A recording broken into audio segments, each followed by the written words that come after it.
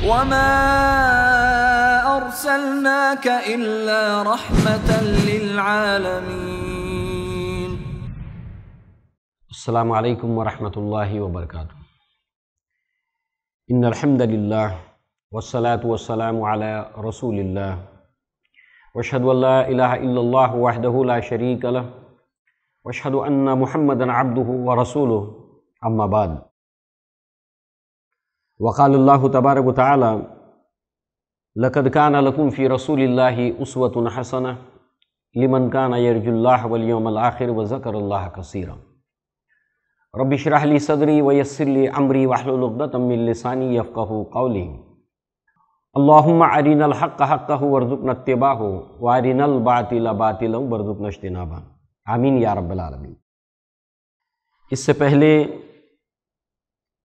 सीरत इमाम आज़म मोहम्मद रसूलुल्लाह सल्लल्लाहु अलैहि वसल्लम के ताल्लुक़ से जो बातें हमने सुनी थी, उसमें जमज़म की खुदाई के मौके पर कुरैश की तरफ़ से अब्दुल मुतलिब की राह में जो रुकावटें पेश की गईं, और उस वक्त अब्दुल मुतलिब का एक ही बेटा था हारिस, और कबायली निज़ाम के अंदर ट्राइबल सिस्टम में लड़कों की बड़ी अहमियत होती है। इसी हवाले से सूर्य यूसुफ आपने पढ़ी होगी, जिसमें यूसुफ सलाम के भाई जब बाहम आपस में गुफ्तगु करते हैं तो कहते हैं, नहनु उस बतुन हम एक जित्था हैं। यानी वो इस नस्बत से कि अगर कभी कबीले पर, कुंबे पर कोई तकलीफ़ आती है तो मुकाबला तो हम कर सकते हैं, सामना तो हम लोग कर सकते हैं। तो गोया कि कबायली निज़ाम के अंदर जो लड़कों की बड़ी अहमियत होती थी, इस नस्बत से मक्का के अंदर भी यही मामला था। तो उस वक्त अब्दुल मुत्तलिब ने यह नज़र मानी कि अल्लाह ताला अगर मुझे दस बेटे देगा तो मैं उनमें से एक बेटा अल्लाह की राह में कुर्बान कर दूँगा। ये हमने इससे पहले गुफ्तगु सुनी थी। और अब यहाँ से हम उसको आगे बढ़ाते हैं। लिहाजा, इससे पहले कि हम इस गुफ्तगु को आगे बढ़ाएँ, अल्लाह के नबी सल्लल्लाहु अलैहि वसल्लम की एक रिवायत को हम अपने सामने रखें। अल्लाह के नबी सल्लल्लाहु अलैहि वसल्लम ने फरमाया, अलमुमिनुल कवियु खैरुन व अहब्बु इलल्लाहि ताला मिनल मुमिनीन ज़ईफ खैर। अल्लाह के नबी सल्लल्लाहु अलैहि वसल्लम ने फरमाया कि ताकतवर मोमिन बेहतर है और अल्लाह ताला को महबूब है कमज़ोर मोमिन से। बाकी खैर सभी में है। ये अल्लाह के नबी का फरमान है। आप देखें कि किसी भलाई को आप उस वक्त तक प्रमोट नहीं कर सकते, किसी भलाई को आप आगे नहीं बढ़ा सकते जब तक कि आपके पास ताकत ना हो। लिहाजा यही वजह है कि दीन इस्लाम के अंदर इसकी बड़ी अहमियत भी है और कुरान मजीद में भी इसकी तलकीन की गई है और अल्लाह के नबी के इरशादात के अंदर भी इसकी मिसालें मौजूद है, जैसे कि हमने अल्लाह के नबी की एक रिवायत को समझा कि सच्चाई को आगे बढ़ाने के लिए, सच्चाई को ताकत पहुँचाने के लिए, हक की हिमायत के लिए अगर ताकत उसके साथ न हो तो बातिल दंदनाता है। तो इस हवाले से यहाँ पर उन्होंने नज़र मानी कि अल्लाह ताला अगर मुझे दस बेटे देगा तो उनमें से एक बेटा मैं कुर्बान कर दूँगा अल्लाह की राह में। और ये इसी कुत के हसूल ही के लिए अब्दुल मुत्तलिब ने यह नज़र मानी थी। ताकत को हासिल करने ही के लिए अब्दुल मुत्तलिब ने यह नज़र मानी थी। अब चलिए, अल्लाह ताला ने आपको दस बेटे अता किए। हमें मालूम होता है कि कुल अब्दुल मुत्तलिब की सोलह औलादें थीं छः लड़कियाँ और दस लड़के। इन दस लड़कों में हारिस, ज़ुबैर, अबू तालिब, हमज़ा, अबू लहब, गिदाक, मकूम, सफ़ार, अब्बास, अब्दुल्ला, ये दस बेटे थे। लिहाजा अल्लाह ताला ने उन्हें दस बेटे दिए। अब ज़ाहिर सी बात है कि अब ये लड़के जब मुदाफ़ियत के लायक हो जाएँगे, जब ये उनकी हिमायत के काबिल हो जाएँगे तो अब वो हो चुके थे। नज़र के अल्फाज के मुतालिक जब वो अपने कुंबे कबीले के डिफेंस करने के लायक हो जाएँगे। तो अब ये बच्चे बड़े हो चुके थे। इसलिए कि बच्चे तो हुए दस, मगर ये कि एक बच्चा बचपन ही में फौत हो गया। ये नहीं कि वो इस लायक हो जाए कि अपने कुंबे कबीले का दिफा कर सके। तो अब इस हालत में बच्चे पहुँच चुके थे। अब नज़र के पूरा करने का वक्त आया है। लिहाजा अब्दुल मुत्तलिब ने अपने दसों बेटों को जमा किया और उनके सामने अपनी इस नज़र को रखा कि अल्लाह ताला से उन्होंने नज़र मानी है। और उन्हें तरगीब दिलाई, शौक दिलाया कि वो इस नज़र के मुकम्मल करने में, तकमील करने में उनकी मदद करें, उनकी सहायता करें, उनके साथ ताउन करें। तमाम बच्चे तैयार हो गए। मगर अब सवाल यह है कि तरकीब क्या हो? इन दस बेटों में से किस बेटे की कुर्बानी दी जाए? लिहाजा उसके लिए कुरानदाजी का तरीका जो है वो इख्तियार किया गया और उस कुरानदाजी के अंदर अब्दुल्ला का नाम आया और बार बार आया। अल्लाह ताला की भी जो मसलहत है, इम्तिहान है कि अब्दुल्ला महबूब भी थे, अब्दुल मुत्तलिब को सबसे ज़्यादा। अपनी नज़र को मुकम्मल करने के लिए अब्दुल्ला को लेकर उनका हाथ थामे हुए और साथ में ज़ुबा करने के लिए जो छुरी है उसको लिए हुए वो बढ़ते हैं हरम की तरफ़। और उस वक्त जो है वो कुरैश के लोग और बिलखसूस अब्दुल्ला का जो ननियाल है, बनु मखजूम के लोग, मुगैरा बिन अब्दुल्ला ख़ास तौर से जो अब्दुल्ला के मामू थे और बनु मखजूम से चूँकि ताल्लुक़ था, अब्दुल्ला की वालिदा का तो इस हवाले से बनु मखजूम के लोग जो है वो वो अब्दुल मुत्तलिब के राह में आए और कहा कि ऐसे आप नहीं कर सकते। तो कहा कि मैंने जो नज़र मानी उसका क्या? तो कहा कि जब तक कि तमाम तदबीरें अब्दुल्ला को बचाने की न इख्तियार कर ली जाएँ, हम ऐसा आपको करने नहीं देंगे। और इसके लिए चाहे हमारा सारा माल ही क्यों ना खर्च करना पड़े। तो काफिर इसका रास्ता क्या है? तो फिर ये उसका रास्ता निकाला गया कि जो काहिना है, उस काहिना के पास जाकर इस मसले को रखा जाए और ऐसा ही किया गया। काहिना के पास ये मामला रखा गया। नज़र मानी है अब्दुल मुत्तलिब ने, ये नज़र मानी है। और अब जो है वो इसका कोई सबील कोई रास्ता है कि अब्दुल्ला की जान भी बच जाए और नज़र भी पूरी हो जाए। तो काहिना ने कहा कि तुम लोग जो खूबहा देते हो, किसी इंसान की जान का जो दियत देते हो खूबहा देते हो तो वो कितना तय है? तो कहा कि दस ऊँट। तो काफ़ी ठीक है कि कुरान निकालो दस ऊंटों का और उसके साथ अब्दुल्ला के नाम का। और जब जब अब्दुल्ला का नाम आए, दस दस ऊँट बढ़ाते चले जाना। और जहाँ पर अब्दुल्ला की बजाय ऊंटों का कुरान निकल आए, वहाँ पर उतने ऊंटों की कुर्बानी दे देना।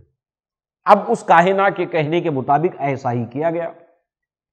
एक तरफ़ जो है वो दस ऊँट और दूसरी तरफ़ अब्दुल्ला का नाम है। कुरान के अंदर अब्दुल्ला का नाम निकला, दस ऊँट बढ़ा दिए गए।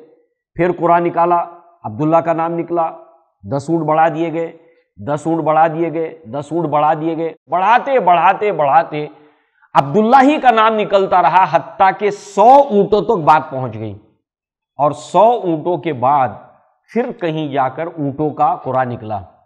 फिर अपने इत्मीनान के लिए अब्दुल मुत्तलिब ने बार बार निकाला कुरा तो फिर सौ ऊंटों का ही कुरा निकला। तो अब उतने सौ के सौ ऊँट जो है वो कुर्बान कर दिए गए। और इसके अंदर से कोई भी एक भी बोटी अब्दुल मुत्तलिब या उनके रिश्तेदार या उनके ख़ानदान ने इस्तेमाल नहीं की, बल्कि उसको तकसीम किया गया, जिसको जितना चाहे वो गोश्त ले जाए। और इस तरीके से ये वाक़ बहुत मशहूर हो गया मक्का के अंदर। तो हम थोड़ा सा पिछले दर्स के साथ इसको अटैच करते हैं। जैसे जैसे अल्लाह के नबी की विलादत का वक्त करीब आ रहा था वैसे वैसे बनु हाशिम की शोहरत में इजाफा हो रहा था और लोगों की उस कबीले के लिए मोहब्बत में इजाफा हो रहा था। अदनान, अरबों के लिए उन्होंने तिजारत का आगाज़ किया। अल्लाह के नबी वसल्लम के जद्द अमजद हैं। आपके फोर फादर्स में से। उसके बाद हाशिम ने हाजियों को कहत साली के दिनों के अंदर बेहतरीन खाने खिलाए, महँगे खाने खिलाए। कहत का ज़माना होने के बावजूद भी। लोग बनु हाशिम से मोहब्बत करने लगे। दो, जमजम का मामला पानी को लेकर अल्लाह ताला ने कुरैश के दिल में भी और तमाम अरबों के दिलों में और ज़्यादा मोहब्बत को बढ़ा दिया। और अब ये चौथा वाक़ है कि अब्दुल्ला उनका ये जो कुर्बानी का मामला है और गोश्त की तकसीम है, ये इतना मशहूर हो गया। कई रिश्ते अब्दुल्ला को निकाह को लेकर आए और इसके अंदर से वर्का इब्न नौफिल की बहन फातिमा और इनका नाम जो है वो फातिमा के अलावा और भी इनका नाम बताया गया है। लिहाजा उन्होंने भी जो है वो शादी का पैगाम जो है वो अब्दुल्ला के लिए दिया और कई घरानों के पैगाम जो है वो अब्दुल्ला के लिए आए। बहरहाल जो है वो लुबाब ये है कि अल्लाह के नबी की विलादत का, आपकी बेसत का वक्त जैसे जैसे करीब आ रहा था वैसे वैसे जो है वो अल्लाह तबारक ताली मुमताज़ करके बनु हाशिम को और ज़्यादा जो है वो सामने ला रहा था। उनकी इज़्ज़त में, उनके शर्फ में, उनकी शान के अंदर और भी ऐसे वाक़ात जो है वो रूनुमा हो रहे थे कि वो सबकी निगाह में ये कबीला जो है वो मुमताज़ होकर सामने आ रहा था। हम देखते हैं कि अल्लाह के नबी के वालिद का नाम है अब्दुल्ला इस हवाले से हर मुसलमान इस बात से वाकिफ़ है और जो नहीं है उसको ये जानना चाहिए कि मुशरकी ने मक्का। अल्लाह ताला को मानते थे। कुरान मजीद में कई जगह पर आया है। ए नबी, आप इनसे पूछिए कि ज़मीन और आसमान को तख्लीक किसने किया है? किसने बनाया है? तो ये क्या कहेंगे? ये कहेंगे अल्लाह ने बनाया है। यानी ये अल्लाह को अल्लाह के नाम से पुकारते थे। उसकी दलील कुरान में भी है। इसके अलावा मक्का के अंदर कितने ही ऐसे लोग थे जिनका नाम अब्दुल्ला था। उनमें सबसे मारूफ ये है अल्लाह के नबी के वालिद का नाम अब्दुल्ला लिहाजा इस नस्बत से आप देखें कि अल्लाह ताला के लिए भी ये नाम पसंदीदा हैं। अब्दुल्ला इबन मसूद रज़ी अल्लाह फरमाते हैं, और ये अबू दाऊद के अलावा दीगर कुतुब अहदीस में भी ये रिवायत मौजूद है, किताबुल अदब के अंदर अबू दाऊद में है। कहते हैं, काला रसूलुल्लाह सल्लल्लाहु अलैहि इल्लाही अब्दुल्ला व अब्दुलरहमान व असदकुहा हारिसुन व हमामुन व अकबहुहा हरबुन व मर्रतुन अल्लाह ताला के नज़दीक महबूब और पसंदीदा नाम जो तुम अपने बच्चों के रखते हो वो अब्दुल्ला और अब्दुलरहमान हैं। हारिस नाम सच्चा है और हमाम ये भी नाम अच्छा है और बुरे नामों के अंदर हरबुन और मुर्रतुन, ये बुरे नाम हैं। चूँकि अहले अरब ऐसे नाम रखा करते थे, जिसके अंदर फ़ख्र का इजहार होता था, मुशरकाना नाम होते थे, या उसका माना जो है वो नापसंदीदा होता था, जैसे मुर्रतुन यानी कड़वा, उसके माने होते कड़वा, और हरबुन यानी लड़ाका, हमेशा लड़ने वाला। तो लिहाजा ऐसे नाम वो लोग रखा करते थे, ऐसे अलकाब रखा करते जैसे अबू जहल, ये लकब था उसका। लिहाजा जो है वो, उसके अंदर वो बड़ी शान समझते थे। या उस तरह से वो अपने आप को कहलवाना पसंद करते थे। तो लिहाजा ऐसे कई अलकाब, कई नाम आपको मिल जाएँगे। तो अल्लाह के नबी ने अपने नबूत के ज़माने में जो लोग भी इस्लाम में दाखिल हो जाते थे और उनके नाम में अगर कोई ऐब होता था माना के एतबार से या शिरकिया कोई उसका मफहूम निकल रहा होता तो अल्लाह के नबी उस नाम को बदल देते और उसकी जगह पर अच्छा नाम रखते। और इस ताल्लुक से अल्लाह के नबी वसल्लम की रहनुमाइयाँ मौजूद है। कि अच्छे नाम बच्चों के रखे जाएँ, जिनमें से ये रिवायत भी उसकी एक दलील है। तो अल्लाह के नबी सल्लल्लाहु अलैहि वसल्लम के वालिद का नाम था अब्दुल्ला तो ये वो कौम थी, कुरैश, हमें ये मालूम होना चाहिए कि वो अल्लाह को अल्लाह के नाम से पुकारती थी। कई ऐसे लोग मक्का में थे जिनका नाम अब्दुल्ला था। मगर साथ ही साथ वो अल्लाह के साथ शरीक भी ठहराती थी। लात, हुबल, मनात, उज़्ज़ा, इन सबको अल्लाह ताला का शरीक ठहराती थी। इनको अल्लाह की जो है वो बेटियाँ माज अल्लाह करार देती थी और ये कहती थी, लियुकर्रिबूना जुल्फ़ा कि ये लोग हमें अल्लाह ताला के नज़दीक कर देते हैं। हमारे लिए अल्लाह ताला के लिए ये वसीला हैं। इनके ज़रिए से हम अल्लाह का कुर्ब हासिल करते हैं। हमारी बातें ये अल्लाह ताला तक पहुँचाती हैं। तो इस तरीके से उन लोगों के ये बातिल अकायद भी थे अल्लाह ताला को मानने के साथ साथ तो बरसबील तस्करा ये बात आ गई और आगे और मज़ीद तफसीलात आएँगी इसकी। तो बहरहाल जो है वो अल्लाह के नबी सल्लल्लाहु अलैहि वसल्लम के जो वालिद थे, उनको कई रिश्ते के पैगाम आने लगे इस वाक़े के बाद। और उसी ज़माने के अंदर वर्का इब्न नौफिल का नाम बहुत मरूफ और मशहूर है। अहले किताब में से थे, मज़हब ईसाइत को इन्होंने इख्तियार किया था। और तौरात को जो इबरानी ज़ुबान में थी, इबरानी ज़ुबान में लिखते थे। यकतुबुत तौरातल इबरानिया। वो इब्रानी ज़ुबान के अंदर तौरात को लिखते थे, बहुत बड़े आलिम थे तौरात के। इस हवाले से उनकी एक बहन थी रुकैया बिन नौफिल, या फातिमा भी इनका नाम आता है। इन्होंने भी अब्दुल्ला के लिए रिश्ते का पैगाम रखा, मगर अब्दुल्ला ने जो है वो और उनके रिश्तेदारों ने ये कहकर कि जब तक के वालिद उनके इस मामले में न फैसला लें, वो कुछ नहीं करेंगे इस ताल्लुक से। बहरहाल जो है वो अब्दुल मुत्तलिब ने अपने इस बेटे के निकाह के लिए वहाब बिन अब्दुल मुन्नाफ, इनकी बेटी, आमिना का रिश्ता मांगा।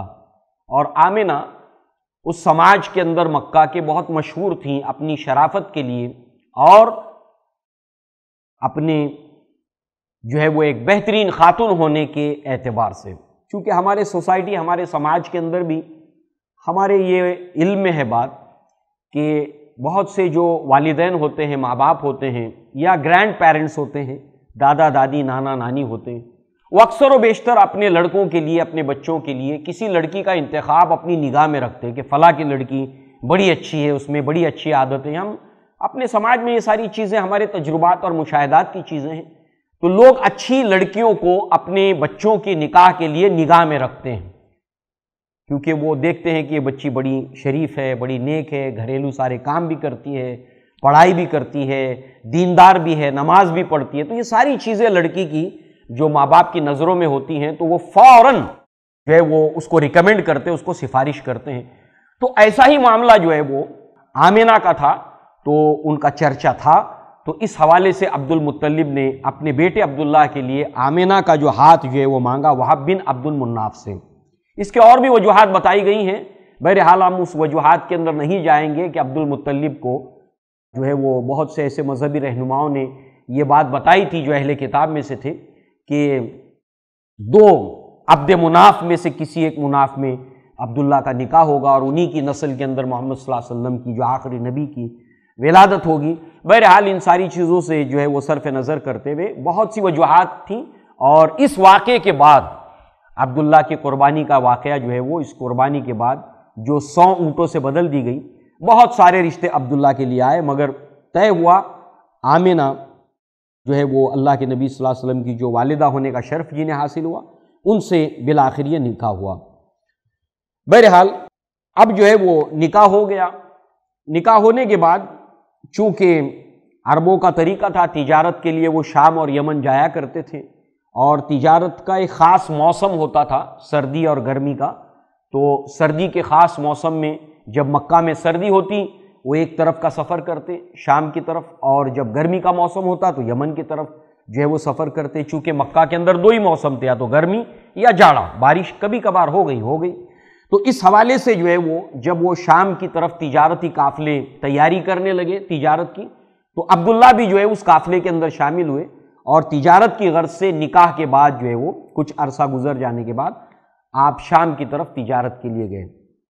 शाम से वापसी के वक्त में रास्ते में बीमार हो गए और चूँकि मदीना के अंदर आपने स्टे किया, जो दरअसल अब्दुल मुत्तलिब, जिनका असल नाम शैबा, हम इससे पहले इसको देख आए हैं। तफसील से ये अल्लाह के नबी की सीरत के हवाले से हम इसको देख चुके हैं। तो अब्दुल्ला जब शाम से वापस आए तो वापसी के वक्त बीमार हो गए, शदीद बीमार हो गए। और मदीना में उन्होंने स्टे किया जो अब्दुल मुत्तलिब का ननियाल था। तो लिहाजा जो है वो यहाँ पर ठहरे और फिर बिलाखिर उनका इंतकाल हो गया। जब अब्दुल मुत्तलिब को ये बात पता चली तो उन्होंने अपने बेटे हारिस को भेजा, मगर जाने के बाद पता चला कि उनका इंतकाल हो चुका है और दारुल नाबेगा के अंदर उनको दफन कर दिया गया है। जिस तरीके से हाशिम दौरान सफ़र के अंदर वफात पाए ऐसे ही अल्लाह के नबी के वालिद अब्दुल्ला भी शाम से वापसी के वक्त में वफात पा गए। फ़र्क सिर्फ़ इतना है कि मदीना के अंदर हाशिम ने निकाह किया था और वहाँ पर शैबा की विलादत हुई, जो बाद में अब्दुल मुत्तलिब हुए। इसी तरीके से अब्दुल्ला जो है वो वो निकाह करके गए हैं शाम की तरफ़ और वापसी के वक्त में जो है वो आपकी वफात हो जाती है और वहीं तदफीन आपकी हो जाती है। सीरत निगारों ने अक्सर व बेशतर ने बताया कि उस वक्त आपकी उम्र जो है 24-25 साल की थी। अगर के कुछ और भी उम्रें बताई गई है, मगर मेजोरिटी अक्सरियत ने जो उम्र बताई अब्दुल्ला की, वो 24 से 25 साल। बहरहाल, इस तरीके से अब्दुल्ला का इंतकाल हो गया और अल्लाह के नबी वसल्लम उस वक्त अभी शिकम मादिर में थे, माँ के पेट में थे। और इससे पहले कि आप इस दुनिया में आते, उससे पहले पहले आपके वालिद का इंतकाल हो गया। इस उनवान को हम आगे इंशाल्लाह तफसील से पढ़ेंगे। अल्लाह के नबी सल्लल्लाहु अलैहि वसल्लम का वो दौर जो बहसीत यतीम के आपने दुनिया में गुजारा। यहाँ पर हम तफसील में नहीं जाएँगे, इसके लिए तफसील का एक वक्त है। क्योंकि अल्लाह तबारक ताली का कोई काम मसलहत से खाली नहीं है। अल्लाह के हर काम के अंदर प्लानिंग है, हर काम में तदबीर है। अल्लाह अलाकुल्ली शहीन कदीर है, आप सोचें। अल्लाह अलाकुल्ली शहीन कदीर है। अल्लाह ताला अगर चाहता तो अल्लाह के नबी के वालिद बाकायद हयात रहते आपकी वालिदा बाकायद हयात रहती देर तक, मगर अल्लाह की ये मर्ज़ी नहीं थी। अल्लाह ताला अलाकुल्ली शहीन कदीर होने के बावजूद भी हम देखते हैं कि अल्लाह की तदबीर का ये हिस्सा था और अल्लाह के नबी सल्लल्लाहु अलैहि वसल्लम यतीम हुए। और इस हवाले से आप देखें कि अल्लाह ताला ने अपने नबी को रहमतुल्लिल आलमीन जब बनाकर भेजा तो इस हवाले से अल्लाह के नबी सल्लल्लाहु अलैहि वसल्लम यतीमों के लिए भी रहमत बनकर आए थे और इस नस्बत से अल्लाह के नबी सल्लल्लाहु अलैहि वसल्लम का बचपन का दौर, जो यतीमी का है, इसका ज़िक्र अल्लाह ताला ने कुरान मजीद के अंदर भी किया। लिहाजा इसको हम तफसील से आगे पढ़ेंगे। कुरान में जहाँ ज़िक्र किया अल्लाह ताला ने, उसमें अल्लाह ने फरमाया, अलम यजिद का यतीमन फ़ावा। है नबी हमने आपको यतीम पाया तो बेहतरीन ठिकाना दिया। बहरहाल, आपके वालिद का इंतकाल हुआ। इस पर जो है वो आमिना ने एक मरसिया कहा है। मरसिया शायरी की उस किस्म को कहते हैं इट्स टाइप ऑफ़ पोएट्री शायरी की उस किस्म को कहते हैं कि जिसके अंदर जो मरने वाले की खूबियाँ बयान की जाती हैं। तो यहाँ पर आमिना ने अपने शोहर अब्दुल्ला उनकी खूबियों को बयान करते हुए जो अशार कहे हैं, उनमें से चंद को आप अपने सामने रखें। अफा जानिबुल बतहा मिन इब्न हाशिम व जावरा लहदन खारिजन फिल गमागिम, दातुहुल मनाया दावतन फ़ाजा बहा मा तरकत फिन्नासी मिसला इब्न हाशिम, अशीयतन राहु यह मिलूना सरीरा। तावरहु असहाबहु फ़ी तजाहुम फ़यकु गालसतुल मनाया वरईबुहा फ़कद काना मियता अन कसीरत तराहिम ये इतने जाम अशार हैं कि ये उनवान जो है वो अभी हम इसका तर्जुमा देखेंगे कि एक उनवान को हम सुनने वाले हैं उस वक्त जब आमिना अल्लाह के नबी सल्लल्लाहु अलैहि वसल्लम को ले जाती हैं जो आपके अयाम रज़ात के दिन हैं, यानी दूध पीने के दिन हैं। तो लिहाजा अल्लाह के नबी सल्लल्लाहु अलैहि वसल्लम को चूँकि नबी होना था, ये अल्लाह ताला की तदबीर का एक हिस्सा था। इस हवाले से अल्लाह तबारक ताली ने जितने अम्बिया को दुनिया में भेजा है, वो फसीहुल्लिसान होते थे। अपनी गुफ्तगु, अपनी बातचीत को बहुत अच्छे अंदाज के अंदर लोगों के सामने उनको रखना होता है तो अल्लाह ताला उस हवाले से तमाम असबाब उनके लिए पैदा करता है। तो हमारे सामने भी ये उनवान आने वाला है कि अल्लाह ताला ने अपने नबी सल्लल्लाहु अलैहि वसल्लम के लिए भी वो तमाम असबाब मुहैया किए बचपन से कि जिसकी बुनियाद के ऊपर आप अपने फरीज नबूत को अदा कर सकें, यानी बेहतर से बेहतर अंदाज में अपनी बात को पेश कर सकें। और अल्लाह के नबी अरबों के अंदर अफसाहुल अरब कहलाते थे, यानी बहुत ही फसीउल लिसान अरबों में से एक आपका नाम था। लोग शशदर रह जाते थे, हैरान रह जाते थे आपकी गुफ्तगु को सुनकर। और इसीलिए लोग कहते भी थे, जो लोग इस्लाम नहीं लाए थे, कि अल्लाह के नबी सल्लल्लाहु अलैहि वसल्लम की बातों को न सुनो। लिहाजा ये जो अशार हमने सुने हैं, आपकी वालिदा के हैं, इसके अंदर आपने जो अशार लिखे उसका माना यह है कि इब्न हाशिम, यानी अब्दुल्ला हाशिम के बेटे अब्दुल्ला मुराद, हाशिम तो आपके जो है वो चचाजाद हुए ना अब्दुल मुत्तलिब के जो है वो वालिद हुए, उस एतबार से आपके वालिद के वालिद यानी दादा हुए। तो दादा के लिए भी बेटे का लफ्ज़ इस्तेमाल होता था, इसलिए हम कई मरतबा देखेंगे कि अब्दुल मुत्तलिब अल्लाह के नबी को कहते कि ये मेरा बेटा, जबकि वो पोता है। तो ऐसे दादा जो है वो हमारे यहाँ पर भी अपने समाज में ये चलन है कि दादा कभी कभी अपने पोते को बेटा कहता है, नाना अपने नवासे को बेटा कहता है। तो लिहाजा जो है वो यहाँ पर हाशिम के बेटे ने जो है वो बतहा के अंदर, जो है वो अपने वीरान या खाली जगह को जो है वो मुंतखब किया और वहाँ पर दफन हुए। और जो शहरों की शोर गुल को छोड़कर उस शहर खमोशा को इख्तियार किया और वहाँ के पड़ोसी हुए। मौत ने जब उनको पुकारा तो उन्होंने उसका जवाब दिया लब्बैक कहते हुए बहादुरों की तरह। और लोगों में मौत जो है वो इब्न हाशिम यानी अब्दुल्ला जैसे अच्छे लोगों को मौत छोड़ती नहीं है, बल्कि ऐसे अच्छे लोगों को ले ही जाती है। लिहाजा इसका माना ये भी है कि कोई अच्छा इंसान हो तो इसका मतलब ये नहीं है कि मौत उसको छोड़ देती है, बल्कि इब्न हाशिम जैसे लोगों को मौत ले ही जाती है। बड़ी ही हसरतनाक वो शाम थी जब लोग अब्दुल्ला की चारपाई को उठाकर ले जाते थे और उसके साथ लोगों का, उनके साथियों का हुजूम था।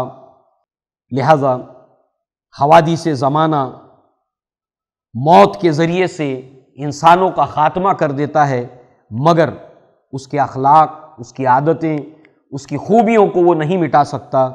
अब्दुल्ला भी ऐसे ही एक शख्स थे जो लोगों को बहुत कसरत से देने वाले थे और बहुत ज़्यादा रहम करने वाले थे।